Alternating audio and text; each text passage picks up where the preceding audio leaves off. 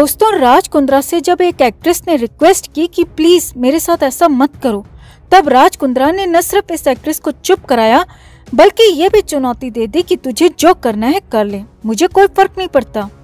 तो कुछ इस तरह का एटीट्यूड था राज कुंद्रा का। हाल ही में, राज कुंद्रा जब कोर्ट की हियरिंग के लिए गए, तब उनके चेहरे से ये तेवर, ये एटीट्यूड गायब नज़र आया। इनफैक्ट उन्होंने मीडिया से नज़रें भी नहीं मिलाई। उनका सिर झुका हुआ नज़र आया था। लेकिन एक वक्त ऐसा था दोस्तों, जब राज कुंद्रा गलत काम तो कर ही रहे थे और उसके ऊपर से उनके तेवर भी सर चढ़कर बोलते थे। उनके साथ काम कर चुकी एक एक्ट्रेस ने यह खुलासा किया है।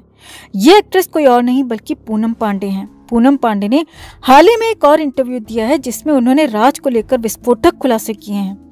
आपको बता दें कि राज कुंद्रा की एक कंपनी थी आर्म्स प्राइम।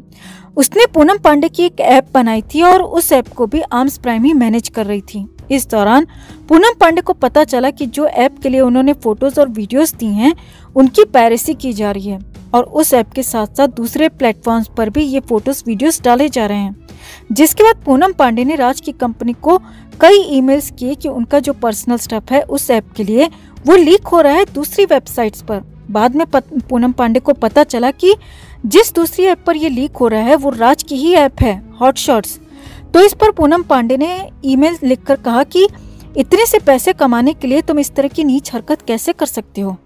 पूनम पांडे ने यह भी कहा कि मेरा कंटेंट तुरंत हटाओ, नहीं तो तुम्हारे साथ मेरा जो कॉन्ट्रैक्ट है, वो मैं टर्मिनेट कर दूँगी और तुम्हारे खिलाफ लीगल एक्शन लूँगी। इस लीगल एक्शन की बात पर पूनम पांडे को जवाब मिला कि तुझे जो करना है कर ले लीगल एक्शन लेना है तो ले ले। यू आर मोस्ट वेलकम और ये जवाब राज की टीम के किसी मेंबर ने नहीं दोस्तों, बल्कि खुद राज कुंद्रा ने दिया था।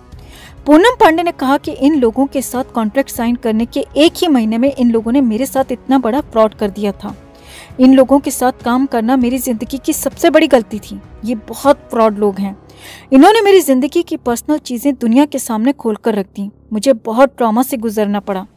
पूनम पांडे ने यह भी कहा कि मुझसे बहुत बड़ी गलती तब हुई जब मैंने अपने पासपोर्ट और पर्सनल क्रेडेंशियल्स राज राज की टीम के साथ शेयर कर दिए थे। जब पूनम पांडे ने राज की टीम के साथ ये कॉन्ट्रैक्ट साइन करने से मना कर दिया था तो राज की टीम ने पूनम पांडे को यह भी धमकी दे दी थी कि तुम्हें पैसे नहीं देंगे जब तक तुम ये कॉन्ट्रैक्ट साइन नहीं करोगी। लेकिन पूनम पांडे ने उनके सामने झुकने से इनकार कर दिया। पूनम पांडे के पास और भी काम था। इकलौता राज ऐसा शख्स नहीं था जो पूनम पांडे को इंडस्ट्री में काम दे रहा था। और पूनम पांडे कहती हैं कि यही वो कारण है कि राज न मुझे प्रेशराइज कर पाया, न मुझ पर दबाव बना पाया। ये लोग अपने आप को समझते क्या हैं? इन्होंने मेरी पर्सनल स्पेस को पब्लिक करके रख दिया। तो कुछ इस तरह के इल्ज़ाम एक बार फिर से पूनम पांडे राज पर लगाती नज़र आई हैं। आपको एक बार फिर याद दिला दे दोस्तों कि ईयर 2019 में पूनम पांडे ने राज कुंद्रा पर फ्रॉड का ये केस किया था, जिसके बाद ही आगे की तफ्तीश में राज के काले कारनामे सामने आए और आज ये घटिया आदमी पूरी तरह से एक्सपोज हो चुका है और सलाखों के पीछे पहुँच चुका है।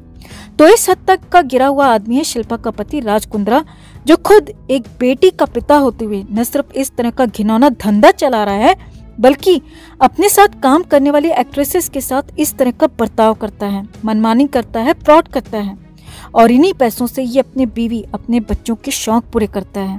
थू है ऐसे आदमी।